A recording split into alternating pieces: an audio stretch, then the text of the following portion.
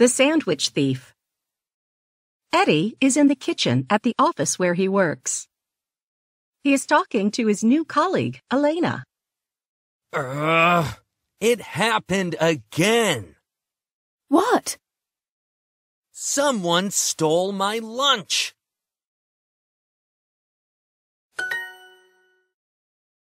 This has happened every day for the past week. Really? That's strange. I think Phil has been stealing my food. Yeah, Phil always looks hungry.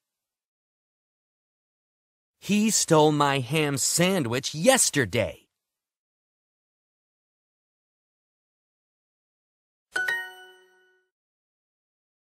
Do you mean your chicken sandwich?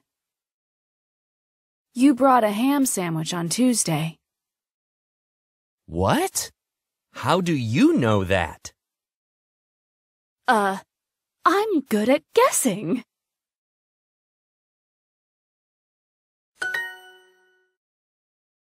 Well, I have a surprise for Phil tomorrow.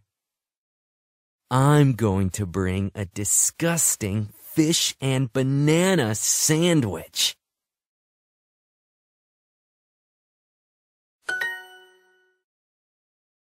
Good plan. The next day, Eddie sees Elena again. No one stole my lunch today. But that's a good thing, right? No, I only brought that fish and banana sandwich. So now I have to eat it.